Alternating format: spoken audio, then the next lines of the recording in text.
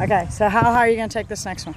Um, almost full, but not quite. Okay, just make sure. Do you feel the hip slide in there? Yeah. Hard part is, is you got to get slow it down. Yep. Good.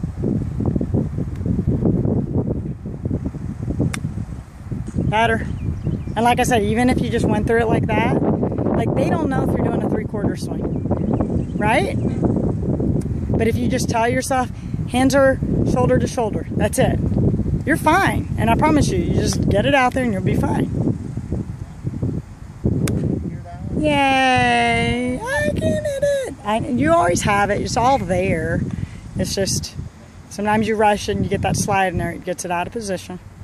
There you go. Does that feel better? Yes. Okay.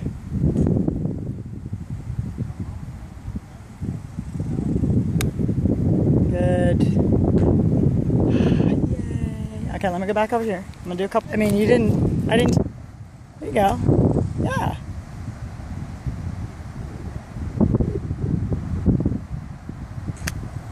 Better. And still, even if it's a little out of position, it won't be so out of whack at the bottom. Does that make sense?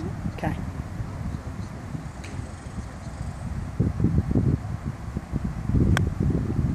Okay, good.